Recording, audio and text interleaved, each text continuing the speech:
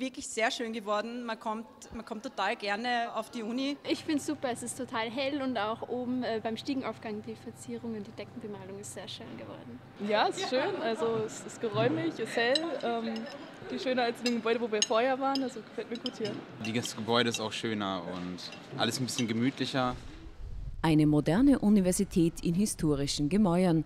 Pünktlich zum neuen Studienjahr wird das von der Bundesimmobiliengesellschaft umfassend sanierte Hauptgebäude der Universität für Bodenkultur in Wien festlich ihrer Bestimmung übergeben.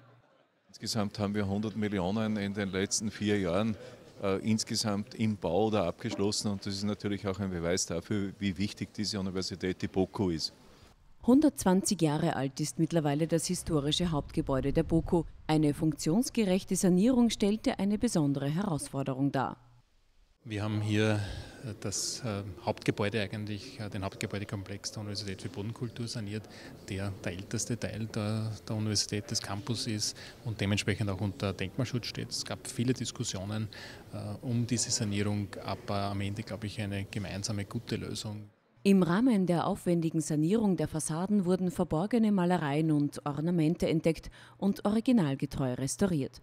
Auch der Innenhof erstrahlt in neuem Glanz und neuer Funktionalität. Eine moderne Kantine sorgt für das leibliche Wohl, ein Fluchtstiegenhaus samt Evakuierungslift für zeitgemäße Sicherheitsstandards. Dank neuer Fenster sowie der Erneuerung der Lüftungsanlagen kann die Energieeffizienz des Gebäudes wesentlich gesteigert werden.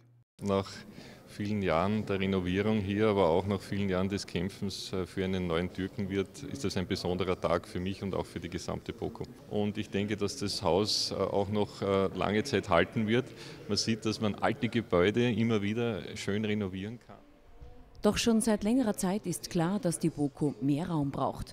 Auch wenn manche beim Gedanken an den legendären Türkenwirt sentimental werden, war der Abbruch unumgänglich zur Sicherung des Universitätsstandorts. Im Vordergrund steht natürlich äh, für diese Universität, die die am stärksten wachsendste Universität in Österreich ist, äh, Platzbedarf, neuen Platz, neuen Raum zu schaffen. Die BOKA hat in den letzten Jahren äh, ihre Hörerzahlen mehr als verdoppelt und wir haben daher gemeinsam entschieden, dieses Haus neu zu bauen und werden dort insgesamt rund 20 Millionen Euro in dieses Gebäude investieren.